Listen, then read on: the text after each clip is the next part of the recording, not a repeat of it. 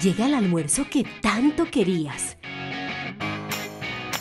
Lo recibes, lo saboreas, te lo comes y al final todo lo depositas en la misma caneca. No, no seas así, Steffi. Separa. Los residuos de comida van en la caneca verde y las cajas de cartón y el tetrapack van en la caneca blanca. Fácil, separa.